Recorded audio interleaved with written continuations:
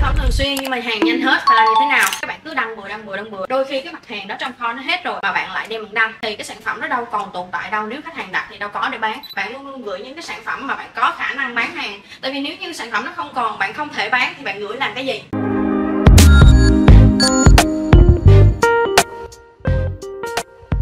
Đây cũng là một trong những tình trạng mà mình thường xuyên gặp phải. Và trước đây thì cái tần suất nó dày đặc hơn rất là nhiều. Tuy nhiên là bây giờ mình có những cái phương án để mình khắc phục và hạn chế nó. Thế nên là nó vẫn còn xuất hiện đó nhưng nó với một cái tần suất rất thấp rất ít. Và chắc chắn là khi mà nó ít xuất hiện nó ít gặp phải vấn đề như vậy thì mình cũng sẽ đỡ được những cái rủi ro cũng như là những cái vấn đề mà uh, gây ảnh hưởng tới cái việc bán hàng của mình. À, cái nỗi đau mà các bạn thường gặp phải đó chính là các bạn đăng hàng nhưng mà hàng hết nhanh quá. Hàng hết nhanh quá dẫn đến vấn đề là khách hàng họ buồn lòng họ sẽ ít mua hàng hơn. Cái khả năng bán hàng của bạn sẽ khó hơn và cái hàng hóa mà bạn bán được cũng sẽ ít như hơn nhiều.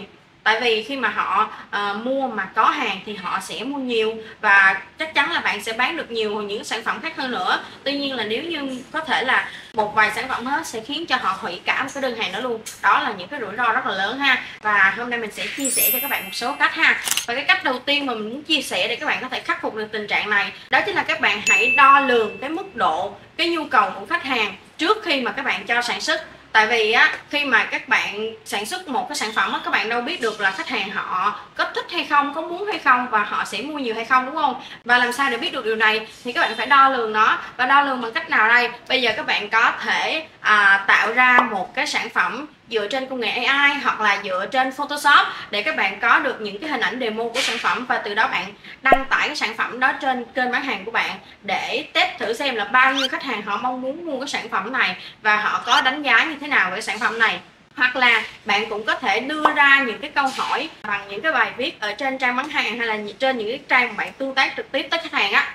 Bạn có thể đặt câu hỏi là ừ sản phẩm sắp tới Ờ, khách hàng sẽ muốn là sản phẩm này có những đặc tính gì, có những đặc điểm gì, có những cái màu sắc như thế nào. Đấy, từ đó thì bạn sẽ biết được là khách hàng họ đang muốn gì, họ đang cần gì. Và bạn sẽ đo lường được cái mức độ tính chất của sản phẩm đúng với nhu cầu của khách hàng. Và hơn hết nữa là bạn có thể đo lường luôn được cái số lượng mà khả năng mà bạn bán ra. Đó, thì từ đó bạn sẽ cho sản xuất một cái số lượng nó phù hợp. Không quá ít mà cũng không quá nhiều. Tại vì khi mà bạn sản xuất quá ít thì nó sẽ dẫn đến tình trạng là vừa đăng hàng đấy nhưng mà lại hết nhanh nếu như bạn sản xuất quá nhiều mà nó không đáp ứng tốt với nhu cầu của khách hàng thì nó dẫn đến tình trạng tồn hàng. Đấy, thế nên là bạn phải đo lường nha, bạn phải đo lường cái nhu cầu cũng như là cái cách mà thị trường tiếp nhận cái sản phẩm đó. Và cái cách thứ hai mà mình muốn chia sẻ đó chính là các bạn hãy luôn luôn check kho trước khi các bạn đăng sản phẩm.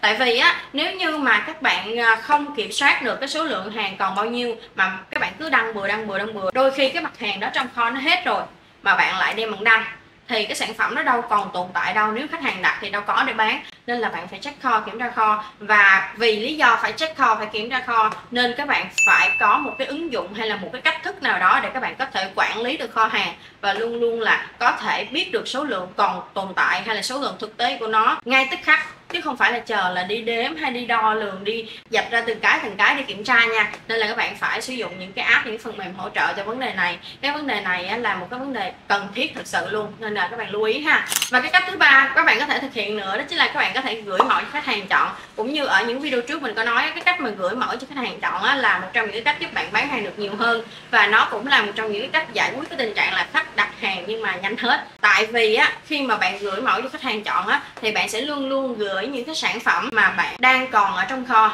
Bạn luôn luôn gửi những cái sản phẩm mà bạn có khả năng bán hàng. Tại vì nếu như sản phẩm nó không còn bạn không thể bán thì bạn gửi làm cái gì? Đúng không?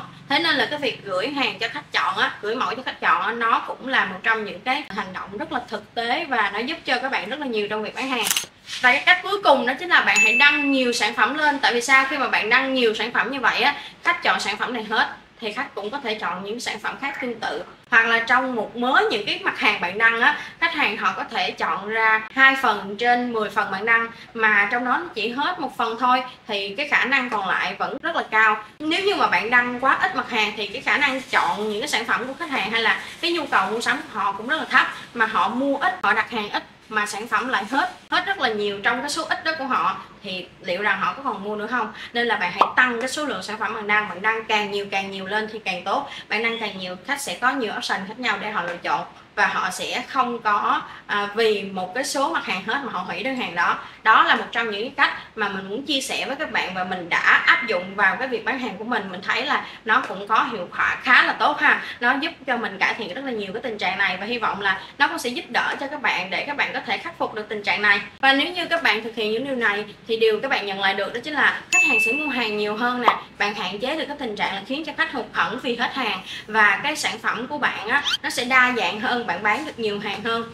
Và đương nhiên là bán được nhiều hơn thì bạn sẽ khiến cho doanh số cũng như lợi nhuận tăng cao và hy vọng là các bạn sẽ có được những điều này ha và mình luôn đính kèm bên dưới phần mô tả một cái link 500 mua hàng uy tín chất lượng để gửi tặng đến các bạn nếu như bạn nào đang có nhu cầu nhập hàng thì bạn có thể click vào link bên dưới để tham khảo thử và nó hoàn toàn không tốn bất kỳ một cái chi phí nào hết mình gửi tặng hoàn toàn miễn phí nên các bạn cứ click vào xem ủng hộ mình nha Chúc mừng tất cả các bạn đã xem hết video cùng với Hà Phương. Để không bỏ lỡ những video tiếp theo, hãy bấm vào nút đăng ký hình tròn ở giữa màn hình. Hoặc có thể xem các video tiếp theo ở bên tay trái hoặc bên tay phải. Xin chào và hẹn gặp lại ở các video tiếp theo.